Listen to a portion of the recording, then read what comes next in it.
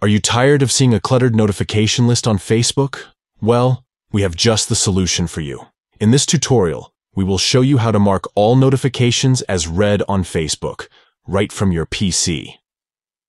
Let's dive in. Step 1. Open Facebook. Log in to your Facebook account using your credentials. Step 2. Click on the Notifications button located at the top right corner of your screen. This will open the Notifications menu.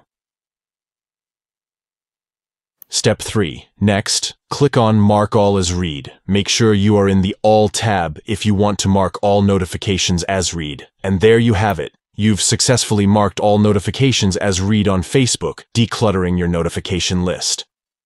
Enjoy a clean and organized Facebook experience. Thank you for watching. Don't forget to like, share, and subscribe to our channel for more helpful tutorials. Mark all notifications as read on Facebook right from your PC.